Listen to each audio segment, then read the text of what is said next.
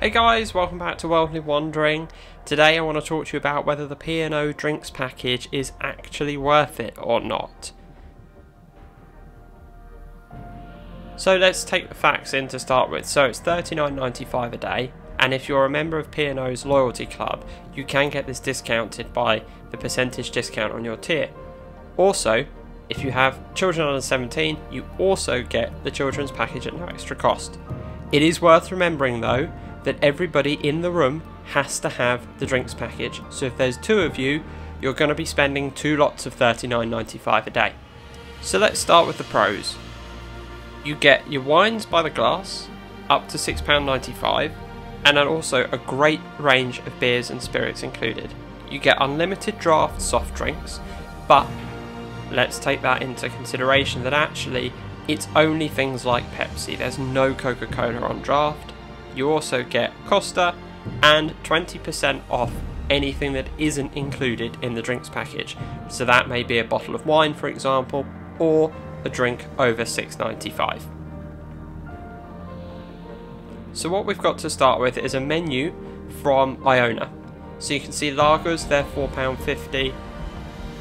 And if we look at the wines, you can see that the majority of these would be included, apart from the Taittinger.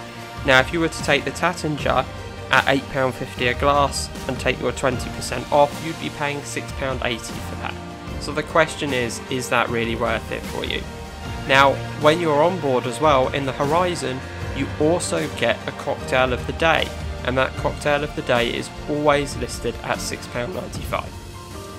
And now looking at drinks in the glass house, you can see this is where you start to get a bit more of an issue, with actually a significant amount of the drinks being over 6.95. So then what you really need to start asking yourself is whether or not the drinks package is really worth it for you.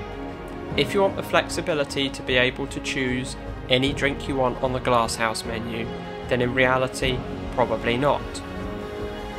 And if you are just a beer drinker, you have to drink over 8 pints in a day to actually make the drinks package worth it.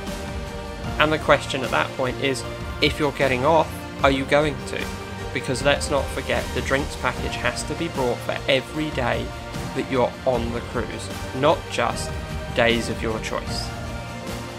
I think if the drinks package included more soft drinks and premium soft drinks all of the time, then it might be worth it. But I think, in all honesty, for the flexibility, we would always ourselves choose to not take the drinks package and just order whatever drink it is that we wanted. I hope you found that useful. Please make sure that you like and subscribe to the channel so we can keep bringing you more information. And if you've got any questions about this, please comment below.